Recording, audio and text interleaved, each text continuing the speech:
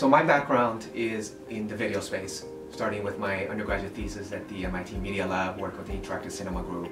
When we first started Sliver, Sliver um, in the esports and VR space, we did large VR 360 video productions where we uh, pushed that stream to uh, users worldwide.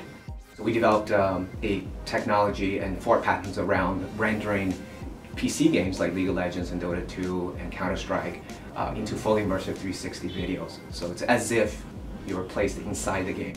We had partnerships with Samsung VR where we would do these live VR productions and uh, push our live stream into the Samsung VR portal. But we're clearly pushing, you know, 360 um, uh, VR content, live stream videos, which uh, even now uh, is about 10 times the amount of data that you need to push through compared to a 1080p uh, HD resolution stream. Um, and we had to push that out on a global basis in real time.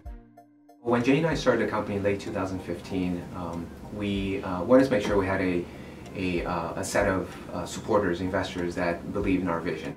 So we ended up raising 17 million in venture financing from the traditional Silicon Valley, uh, Sand Hill Road VCs, including DCM, Sierra Ventures, um, Danhua Capital. As we launched uh, Sliver, uh, we were uh, were funded by both Samsung and Sony uh, as some of our corporate investors.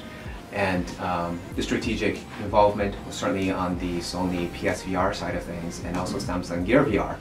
After raising the Series A round, they looked at our operating expenses and, uh, and they asked they asked me, Mitch, how come you're spending 30 to 40 percent of your uh, of your money, of our money on on CDNs and delivering these very large, uh, high bandwidth uh, streams uh, to various parts of the world? And is there an opportunity for you to to solve that problem by leveraging the blockchain? So Theta really came about from from that from that pain point.